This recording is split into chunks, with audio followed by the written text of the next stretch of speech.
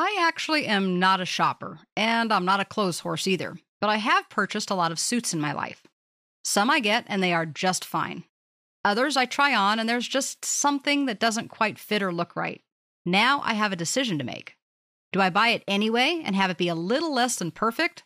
Or do I not get it at all because there just is something that I don't like? How about a third option? Get the suit and have it tailored to fix whatever it is that I don't like. I actually prefer the last option. Often, things aren't perfect out of the box. Instead of foregoing them altogether, though, we can make adjustments, and that is often a really good solution. Most of the time, the default animations that we can select from the animations gallery or dialog box in PowerPoint will be just fine for our presentations as well. But sometimes we need to do something with them in order for them to be the most effective. That's when the animation pane becomes useful. We can display the animation pane by going to the Animations tab, coming over to the Advanced Animation group, and clicking or tapping the Animation pane option. When it's displayed, the animation pane displays on the right hand side of our screen. In it, we can see any of the elements that have already been animated. In this case, our title has been animated, and so has the chart. One of the first things that we can do very easily with the animation pane is we can reorder the animation.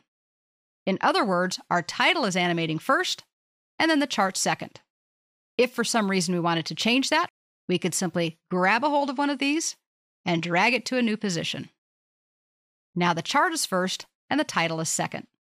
If we don't like drag and drop, there are also sets of buttons on the upper right hand side of the pane where we can move things up and down and we also can go up to the ribbon itself and use the move earlier and move later options.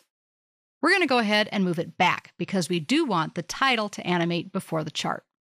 One of the things that is absolutely critical to understand is that when we're animating objects, we have to understand how to work with the objects. Just like sometimes we have clip art, and after we import the clip art, we can ungroup it to get to all of the individual elements of the clip art instead of just the whole thing as one picture. We can often do the same thing with elements on our slides. SmartArt and even charts and text boxes can all be broken down into smaller elements than the whole.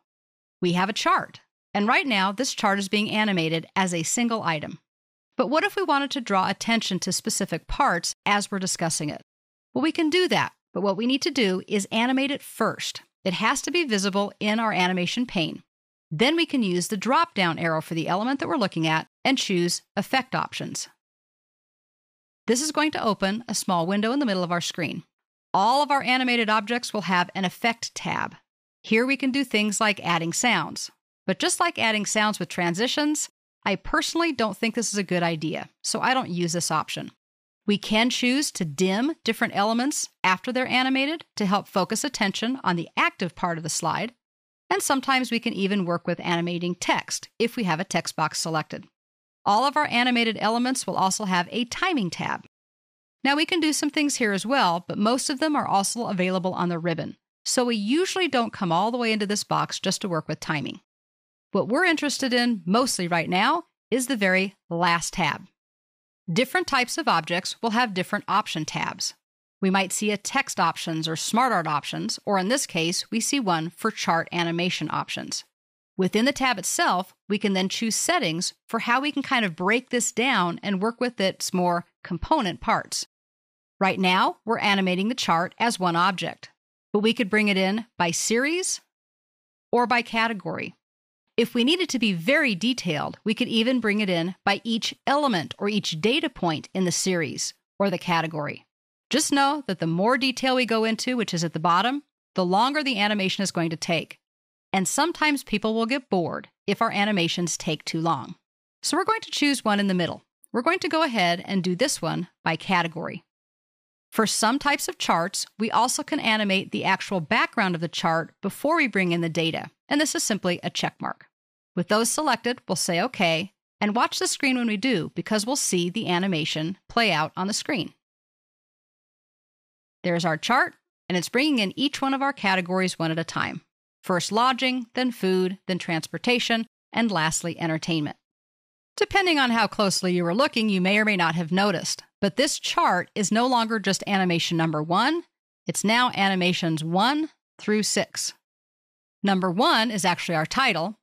Two through six are each of the elements of our chart. The background is one, lodging is two, food is three, transportation is the fourth, and lastly, entertainment. So we've broken this one chart down into different pieces. We can also see these different pieces in the animation pane itself. If we select just the Chart 5 object, we can work with all of them at once. But with the little down arrow, we can also expand it, and we now have the ability to work with each independent part of this chart and animate it differently if we wanted to. Now we have to be careful because we want to be consistent, but we do now have the capability to work with the individual pieces. Remember that this type of thing can be done not only with charts, but also with SmartArt and even with text boxes themselves. That's how people make text builds, where one bullet point slides in at a time. Well, let's look at a couple more things that we can do using this wonderful animation pane. Let's say that we've decided that we really don't want our title to be animated. When the slide displays, the title can already be in place. Well, from our drop down edit menu, we can actually choose to remove any of the animations at any time. There we go, it's gone. And notice that the animations are now renumbered 1 through 5 instead of 1 through 6. The other thing that we can do is we can preview different parts of our animation. Now, if we go ahead and deselect all of our different animations, we'll see that the button at the top of the animation pane says Play All. And if we click or tap on it, it does just that. If we select one particular number, for example, we'll do number 4, then notice that the button changes and says Play From. So we don't have to see the whole thing, but we can basically watch the ending of the sequence. So if we select multiple pieces, in this case we'll do 2, 3, and 4 by holding our Control key, then we see that the button actually says Play Selected, and now it's limited to just the selection. What we have accomplished by using the animation pane is breaking down the chart and instead of having it animate as one large, possibly overwhelming chunk of information, we are now displaying it in bite sized pieces, therefore reducing the potential for indigestion by our audience. Animations can be simple. Often they should be simple.